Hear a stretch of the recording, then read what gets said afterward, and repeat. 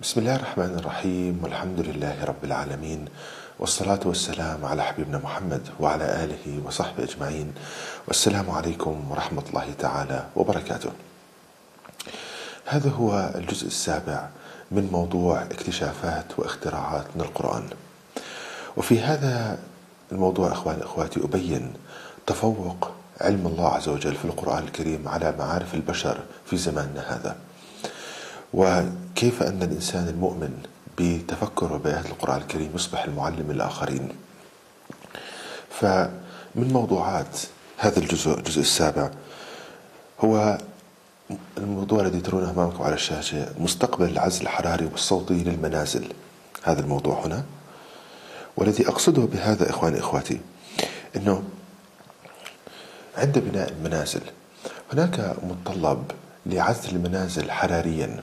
وهذا يعني تقليل كمية التبادل الحراري بين داخل المنزل وخارجه. يعني تقليل كمية الحرارة التي تدخل من خارج المنزل إلى داخله وتقليل كمية الحرارة التي تخرج من داخل المنزل إلى خارجه. هذا يسمى العزل الحراري. Thermal insulation. وأيضا هناك متطلب في المنازل عزل الصوت اللي هو من الاسم يعني واضح. اللي هو تقليل كمية الصوت تدخل من خارج المنزل إلى داخله يعني تقليل الضجيج. وطبعا أهمية العزل الحراري نتكلم عن العزل الحراري الآن أنه عندما أنت تقلل كمية الحرارة اللي تخرج من خارج البيت من داخل البيت إلى خارجه أنت تقلل من متطلبات التدفئة في الشتاء والتبريد في الصيف.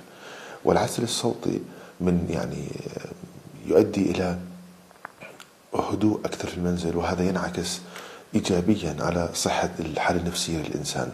يكون الإنسان في حالة هدوء أكثر عندما يكون الضجيج أقل في المنزل.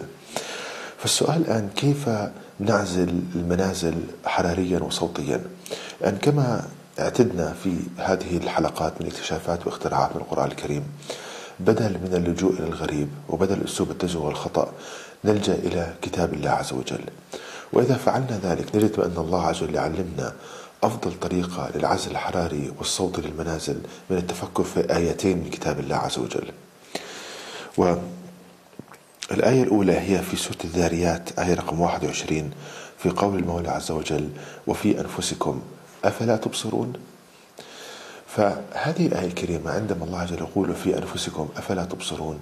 يعني يعظنا الله عز وجل إلى التفكر في كيف خلق الله عز وجل أجسامنا وإذا أخذنا هذا من ناحية هندسية جسم الإنسان عبارة عن مجموعة أنظمة هندسية تعمل بتناغم وتعمل مع بعضها البعض. وإذا ربطنا هذا مع قول الله عز وجل في سورة التين آية رقم أربعة بسم الله الرحمن الرحيم لقد خلقنا الإنسان في أحسن تقويم. نلاحظ الله عز وجل يقول لقد خلقنا الإنسان في أحسن تقويم. يعني أنه الأنظمة الهندسية في جسم الإنسان تعمل بكفاءة 100% إذا أنت عندك نظام هندسي يعمل بكفاءة 100% فإذا عندك أي مشكلة هندسية أي مشكلة تجد حلها في جسم الإنسان. أنه عندك أنت نظام هندسي مشاكله كلها محلولة يعمل بكفاءة 100% فإذا عندك أي مشكلة هندسية من أي نوع ابحث عن حلها في جسم الإنسان. فإذا فعلنا ذلك نريد نحن أفضل طريقة عزل حراري وصوتي من القرآن الكريم. يعني نبحث أين يوجد عزل صوتي وحراري في جسم الإنسان ومن أفضل الأمثلة على ذلك الجمجمة البشرية.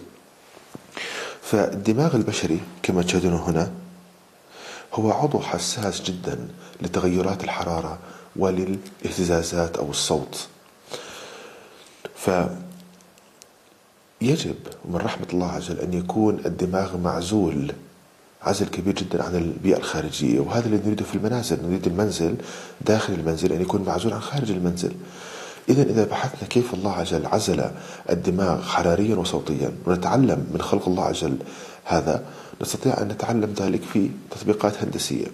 فمن طرق العزل الرئيسية للدماغ البشري هي يعني يكون موجود في عظام الجمجمة. فكما تشاهدون إخواني إخواتي هنا في عظام الجمجمة هنا وهنا تجدوا بأنه الله عز وجل خلق عظام الجمجمة بأن تتكون من طبقتين قاسيتين هنا وهنا في الأعلى وفي الأسفل وبينهما طبقة هنا تجدونها طبقة مسامية ولتقريب الصورة نقول طبقة إسفنجية. ولكن هنا طبقة إسفنجية من مادة فخارية خلق الإنسان من صلصال كالفخار.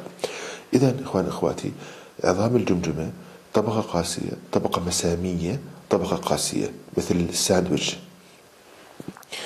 إذا هذا من هنا هذه خلق الله عز وجل هذا يقوم بتقليل كمية الحرارة التبادل الحراري بين داخل الجمجمة وخارجها وتقليل انتقال الصوت من خارج الجمجمة إلى داخلها.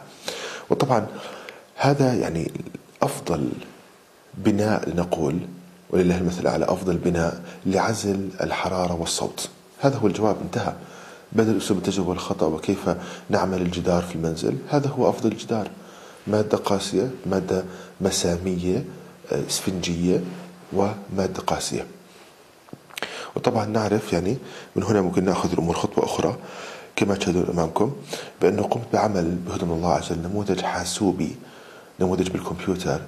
لهذا لما تعلمناه من جسم الإنسان فنلاحظ هنا الطبقة الزرقاء هنا الطبقة القاسية والطبقة القاسية وبينهما مادة هنا مادة مسامية بينهما مادة مسامية.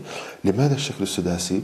لأن العظم من الداخل خلايا شكل سداسي العظم هو تركيبه سداسي. فإذا نلاحظ هذا نموذج قرآني من القرآن الكريم طبقة قاسية طبقة مسامية سداسية طبقة قاسية. هذا هو أفضل تصميم لعزل منازلنا يعني لو وضع هذا النموذج أو هذا التصميم في جدران المنزل طبقة قاسية طبقة مسامية إسفنجية من مادة فخارية طبقة قاسية هذا سيعزل الحرارة والصوت بطريقة رائعة جدا. وطبعا معروف أن المادة الفخارية مادة عازلة مادة عازلة حراريا وصوتيا بدرجة كبيرة جدا. فإذا منازلنا طبقة فخارية قاسية طبقة مسامية إسفنجية على شكل خلايا سداسية إذا أمكن وطبقة قاسية. هذا يعطينا أفضل عزل الحرارة والصوت. وليس من الغريب بأن الغريب بعد سنوات من التجربة والخطأ في البحث عن أفضل تصميم لعزل المنازل حراريا وصوتيا توصل الآن في زماننا هذا إلى التصميم تشاهدونه معكم على الشاشة هنا. تلاحظوا سبحان الله العظيم طبقة قاسية في الأعلى وطبقة قاسية في الأسفل تشاهدون هنا طبقة قاسية وطبقة قاسية وبينها مادة مسامية. نلاحظ وأي مسامات اختار سداسية. فلو قارنا هذا بالذي يعلمني الله عز وجل في الجمجمة البشرية والنموذج هنا نلاحظ سبحان الله العظيم تشابه عجيب وكبير جدا بين خلق الله للجمجمة البشرية وهذه الصفائح التي تستخدم في العزل الحراري والصوتي للمنازل. فالله عز وجل يعلمك كإنسان مسلم أنت أفضل هندسة من القرآن الكريم من جسم الإنسان ولكن لأنه غالبية المسلمين هجروا كتاب الله عز وجل والتفكر فيه يجد أنفسهم متلقين أذلاء للآخرين وهذا إذا تفكرنا في قول الله عز وجل الفرقان آية رقم 30 الله عز وجل يقول بسم الله الرحمن الرحيم وقال الرسول يا ربي إن قومي اتخذوا هذا القرآن مهجورا. وقال الرسول يا ربي إن قوم اتخذوا هذا القرآن مهجورا. فإخواني إخواتي الحل هو الرجوع التفكر في آيات القرآن الكريم. ملاحظة الأسلوب سهل ومباشر جدا. سهل ومباشر وعلم الله عز وجل قوي جدا. وإذا رجعنا لكتاب الله عز وجل التفكر فيه سيغير الله عز وجل حالنا. ولمعرفة تفاصيل أكثر عن هذا الموضوع. رجاء التفضل بزيارة موقع شبكة إنترنت www. قرآن dash miracle dot com. هذا هو الموقع. يمكن التواصل معي عن طريق بريد إلكتروني زيد قرآن Gmail dot com. والسلام عليكم ورحمة الله تعالى وبركاته.